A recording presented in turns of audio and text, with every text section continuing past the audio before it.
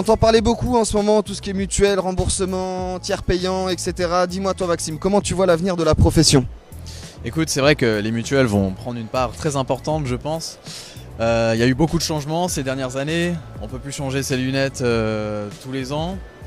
Euh, beaucoup d'opticiens, j'ai entendu, se plaignent. Qu'est-ce que t'en as de ton côté, toi C'est vrai qu'on entend beaucoup de choses, beaucoup de bruit, beaucoup de choses assez négatives, mais bon, moi je reste positif et toi? Mais Écoute, je te propose d'aller tout de suite écouter les opticiens et voir ce qu'ils en pensent. Allons-y, c'est parti Avec Charline, opticienne à Royan. Bonjour, alors du coup, euh, oui, bah, l'optique aujourd'hui se résume à quoi Euh, On est euh, opticien voleur, euh, tout ce qui est l'aspect commercial, mais on oublie trop souvent l'aspect euh, santé. On, euh, les gens viennent normalement avec une ordonnance délivrée par un médecin pour un traitement. Donc on est aussi là pour les conseiller plus sur la qualité optique des verres et après l'aspect commercial vient en second euh, pour le reste à charge que beaucoup de gens n'ont plus du coup la notion parce que les mutuelles les- leur imposent leur, euh, leur chemin de santé. Et vous me disiez justement que vous, euh, vous êtes indépendante et que même sans être sans réseau, ça vous empêche pas d'avoir des clients. Donc les clients viennent pour vous, pour la qualité des soins que vous apportez. Exactement. Il y a le- la barrière de la mutuelle, elle n'est pas du tout là. Les gens ils viennent parce qu'ils ont envie de rentrer, voir de beaux produits et d'avoir la, la monture qu'ils veulent et pas que la monture que tout le monde a sur le, le nez. Donc vous restez positif. Ça, il faut y croire. Je suis avec euh, Elisabeth de Babette euh, Lunettes en Belgique qui va nous donner son avis sur l'avenir de la profession. Comment voyez-vous les, les choses dans le futur? Bon, je- je- pour le moment, je trouve qu'on est un peu trop envahi par les grandes chaînes euh, qui prennent un peu trop le monopole et qui, par leur euh, publicité attractive, euh, poussent les gens à aller plus vers eux que dans les petites boutiques, en tout cas pour moi en Belgique. Et donc, pour ma part, j'essaye justement de me différencier euh, autant, enfin surtout au point de vue service et par rapport aux collections. C'est pour ça que je suis là aussi aujourd'hui, c'est pour pouvoir me diversifier vraiment par rapport à ce qu'on trouve dans ces chaînes. Euh, je, vais plus vers les créateurs, euh, les, choses un peu décalées, enfin voilà, les belles choses, les beaux matériaux, le beau travail. Et donc tout ce que j'espère, c'est que euh, l'optique aille plus dans cette direction-là, parce que la lunette est vraiment un bel accessoire, un bel objet très utile. Et voilà, je suis amoureuse de mon métier et je trouve que c'est vraiment dommage que on, l'ait un peu mis plus comme, comme l'accessoire facile, comme voilà. Et je, je trouve qu'on doit le mettre plus en valeur et j'aimerais que ça soit plus dans ce sens-là dans l'avenir. On se retrouve avec euh, Bénédicte, étudiante euh, en licence d'optométrie à Orsay. Alors ton avis sur la question? Alors, euh, je pense que le métier d'opticien a un grand avenir, mais que euh, du coup, euh, c'est un secteur en évolution. Faut, faut pas se laisser avoir euh, par les mutuelles qui nous poussent toujours à faire, euh, à oublier le, notre cœur de métier finalement, et que c'est quand même important de, de penser à la personne et, et de vouloir toujours le mieux pour elle. Voilà, Axer notre savoir-faire au service du client et compter vraiment là-dessus. c'est ça, oui. Bah, merci beaucoup et bon Silmo. Nous retrouvons Grâce à Bavant, opticienne à Abidjan, qui va nous donner son avis sur le- la profession. D'accord. Euh, je trouve que déjà le, le métier de l'optique est un des plus beaux métiers qui puisse exister. Et aujourd'hui, nous avons une très très belle expérience à cause de la présence euh, des femmes dans le domaine, ce qui apporte plus une touche euh, particulière. Donc euh, déjà, la présence des, des femmes révolutionne un petit peu le, le domaine parce que ça crée des ouvertures dans la diversité des, des personnes, des approches, des designs, des conceptions. Et donc, on est sûr, on est confiant que d'ici deux ou trois ans à venir, euh, l'optique, euh, le monde de l'optique vas prendre un- une tenue vraiment spectaculaire parce que l'impact de la femme permet d'avoir d'autres horizons qu'on n'avait pas au début, il y a 5 ans, 10 ans en arrière. Et ça permet d'ouvrir plus les esprits parce que ce que les hommes n'arrivaient pas à faire, aujourd'hui les femmes sont plus capables de faire dans ce domaine. Et on va dire, vive l'optique. Donc vive l'optique et un bel avenir que nous réservent les femmes, si j'ai bien compris. Super.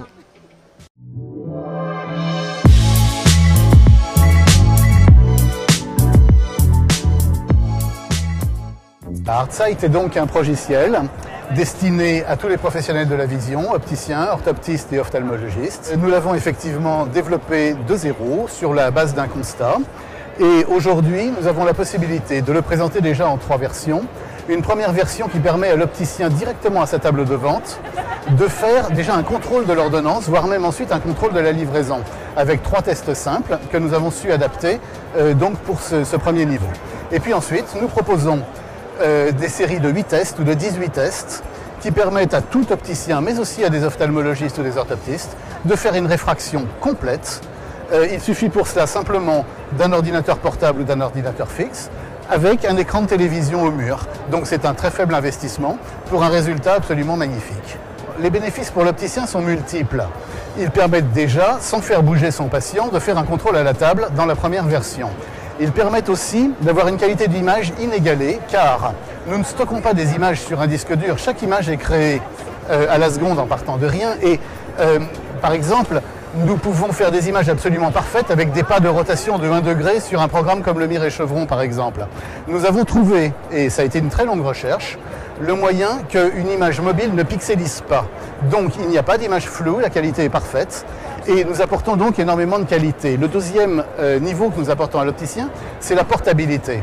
Euh, avec un ordinateur portable, avec un écran relativement grand, mettons à 20 pouces, et on en trouve très facilement, on peut aller faire une réfraction dans une maison de retraite, dans une prison, chez quelqu'un qui ne peut pas se déplacer, etc. Donc en fait, nous pouvons nous passer, grâce à ce programme, d'une salle de réfraction complète. Le coût pour l'opticien, donc selon les versions, va s'établir entre 250 et 900 euros à peu près, plus un écran.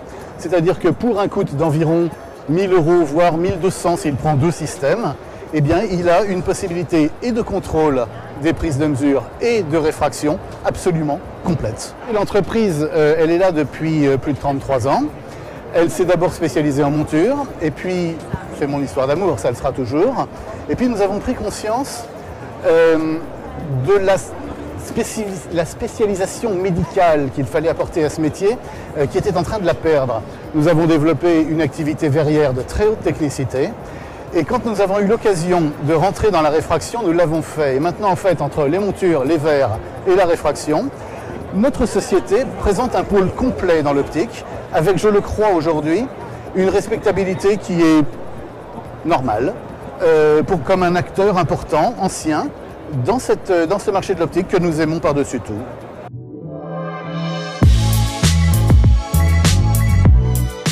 Bonjour à tous les aquinautes et merci de nous retrouver sur ce 50e mondial de l'optique.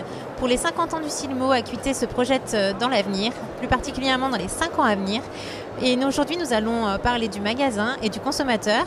J'accueille Christian Deberg. Bonjour Christian. Bonjour. Donc vous êtes euh, directeur général retail de Dragon Rouge. Est-ce que vous pouvez nous dire en deux mots, en deux minutes, comment vous voyez l'avenir du magasin d'optique pour les 5 ans à venir? Alors, les sujets sur lesquels on travaille aujourd'hui en optique, hein, sur, le retail, sont différentes natures. C'est à la fois des sujets qu'on va appeler d'hardware, c'est-à-dire liés à l'aménagement, et des sujets de software qui sont liés au rituel. Et quand on pense, au retail, on a vraiment cette double logique, hein, c'est-à-dire qu'un magasin qui est bien aménagé n'a pas de sens si vous n'êtes pas bien accueilli à l'intérieur et si tout ne se passe pas. Donc on travaille sur les deux directions. Nous, il y a plusieurs choses qui nous préoccupent. C'est qu'on n'a jamais bien su parler du verre à l'intérieur d'un magasin. C'est vrai que c'est transparent, mais un magasin d'optique n'est pas qu'un magasin de monture. Et donc ce rapport de la communication sur le verre, de la pédagogie autour du verre et des choix de verre sur le conseil est vraiment un sujet stratégique. Parce que c'est un sujet technique qu'il faut savoir aborder euh, simplement avec son client. Exactement, mais euh, ça vaut le coup de le faire parce qu'on s'aperçoit que la vraie dimension de conseil, elle est à cet endroit-là. On n'est pas juste un magasin de monture. Euh, le deuxième sujet, c'est comment je parle du prix. Et c'est vrai que vous avez des systèmes de prix qui sont assez opaques et on voit que Internet fait arriver des mécanismes de prix beaucoup plus simplifiés, beaucoup plus ouverts.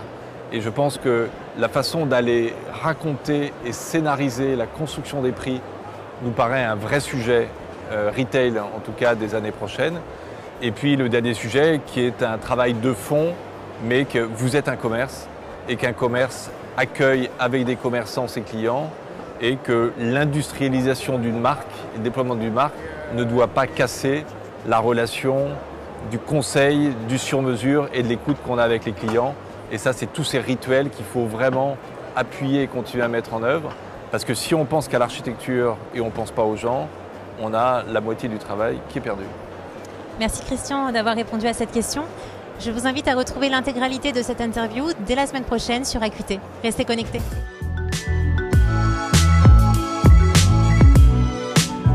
Salut les Aquinautes, c'est Sébastien d'Acuité, deuxième épisode des démos de Seb. Et Seb, c'est moi. Je suis sur le stand Essilor pour vous présenter MyEye 1.5, nouvelle version de MyEye. Je vous rappelle que MyEye lit automatiquement le texte lu. Son design a été repensé, l'écouteur est désormais intégré directement dans la caméra et la tâche magnétique peut se positionner à droite ou à gauche de la lunette. Mieux, plus besoin de pointer le doigt sur le texte, l'appareil le lit automatiquement et vous le chuchote à l'oreille. MyEye 1.5 reconnaît également les couleurs, les billets de banque et les visages. Comme vous le voyez, je porte la lunette euh, MyEye.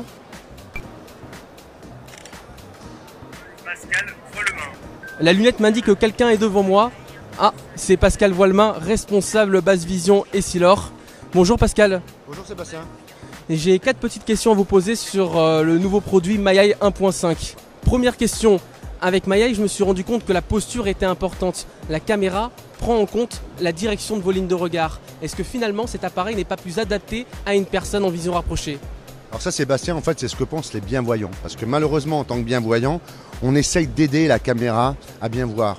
En revanche, il ne faut surtout pas s'occuper de la caméra, puisque comme vous le dites, la caméra elle est positionnée pour que naturellement, en lisant votre texte, il y a un déclenchement automatique et automatiquement, la caméra va vous lire à l'oreille. Deuxième question, quels sont les avantages d'efficacité client de MyEye 1.5 par rapport à un agrandisseur les avantages sont très nombreux sur MyEye 1.5. La première des choses, c'est que c'est extrêmement léger puisque ça va se fixer sur votre lunette. Ça ne pèse que 16 grammes, là où un vidéo agrandisseur va peser 17 kg. Donc vous avez un avantage avec MyEye, c'est de pouvoir vous en servir à domicile, mais également en extérieur. C'est très léger, c'est très discret. Et puis il y a d'autres avantages. C'est grâce au nouveau MyEye 1.5, vous allez pouvoir reconnaître les gens en réel ou sur des photos, ce qui n'est pas possible avec un vidéo agrandisseur. Vous allez pouvoir reconnaître les couleurs, vous allez pouvoir reconnaître les produits à partir de leur code barre, puisque maintenant la base de données des codes barres est intégrée dans MyEye. Donc vous allez avoir une multitude de choses que ne peut pas faire un vidéo agrandisseur. On donne beaucoup plus d'autonomie à la personne malvoyante avec le nouveau MyEye 1.5. Troisième question, je suis malvoyant, je cherche l'adresse de mon restaurant, mais je suis un petit peu perdu. Comment je m'y prends concrètement avec MyEye 1.5 Alors c'est clair que MyEye va redonner beaucoup plus d'autonomie à l'extérieur. En revanche, il n'a pas de fonction GPS, donc il ne va pas pouvoir vous donner votre chemin. En revanche, ce qui va être intéressant dans l'autonomie à l'extérieur, c'est que la difficulté pour un malvoyant, ça va être notamment de reconnaître une enseigne. Donc l'avantage, c'est que quand vous allez dans la rue, il va suffire de pointer du doigt les anciennes que vous souhaitez voir et automatiquement, Maya il va vous le dire à l'oreille. Ça veut dire que si demain vous avez une pharmacie et un restaurant, eh ben, il va vous dire pharmacie et restaurant. Et là, vous allez pouvoir aller dîner directement là où vous souhaitez aller. Quatrième question. Ok Pascal, vous êtes un super communicant, mais Maya 1.5 a quand même quelques limites. Ah oui Sébastien, c'est un super produit, mais en effet, il est important de faire prendre conscience à la personne malvoyante qu'avec Maya, elle ne pourra pas tout faire. On redonne de l'autonomie. En revanche, il est évident qu'il va reconnaître toutes les écritures, mais bien sûr pas l'écriture manuscrite. Euh, la deuxième limite, et ça je vais vous l'avouer entre nous, c'est que si vous voulez lire dans le noir, eh bien il va y avoir un problème de luminosité et la caméra ne pourra pas prendre une photo. Donc oui, il y a quand même quelques limites, mais nous travaillons là-dessus. Je vous ai présenté MyEye 1.5. On se retrouve dès demain. Salut les Aquinautes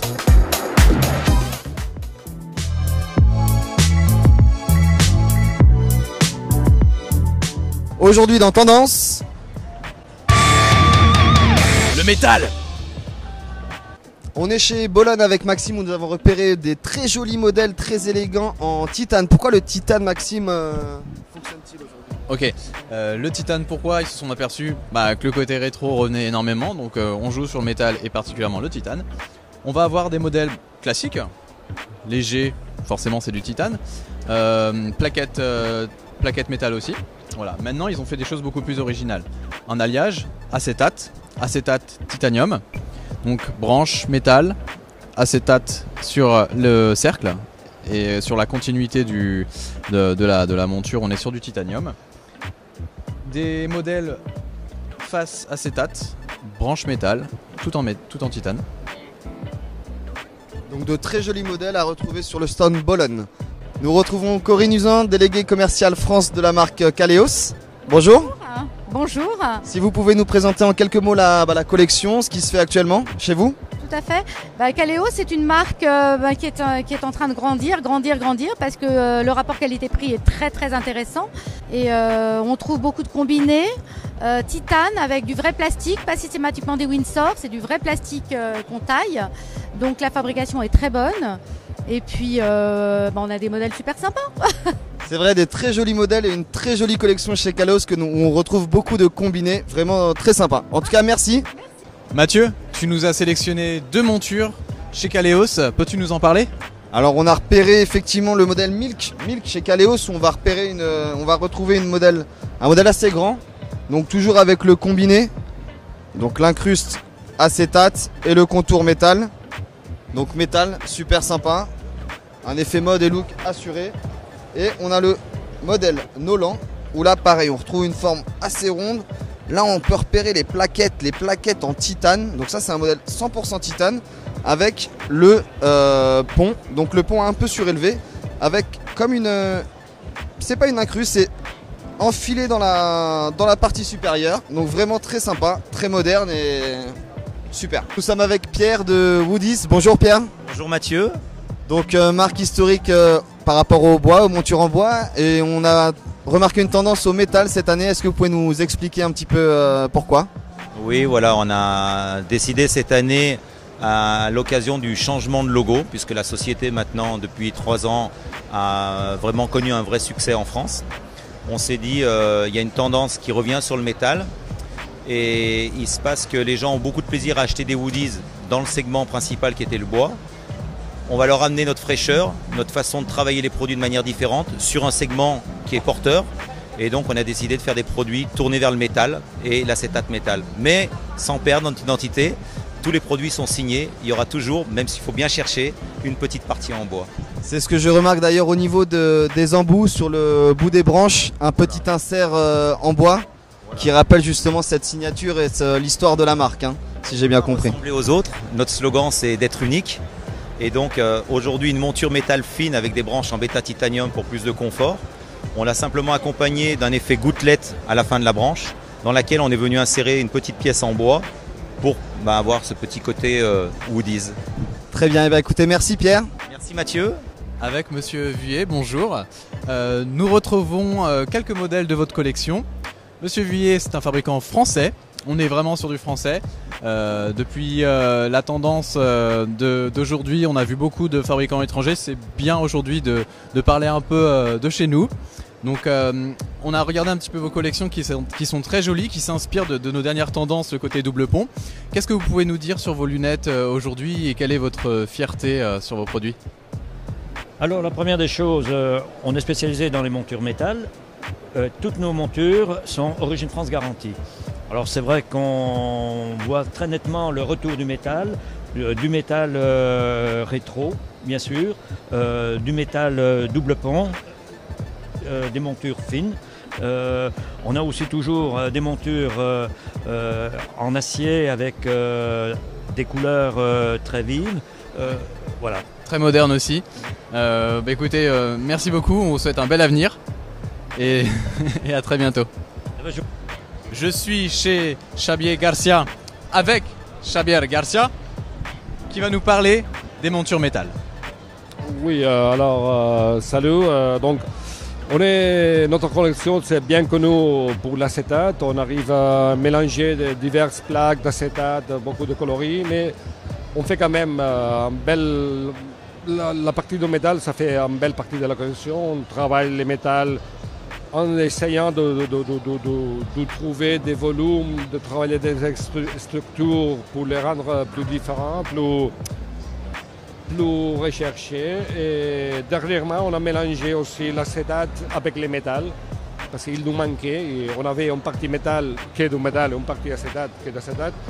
Et aujourd'hui, on- ici aussi, on présente des, lunettes où on combine de l'acétate avec le métal. Ils sont toujours des lunettes faciles à porter, mais avec quelques touches de couleur, quelques notre vision du, du, du- du coloris pour la lunette. Merci beaucoup, Xavier. De rien.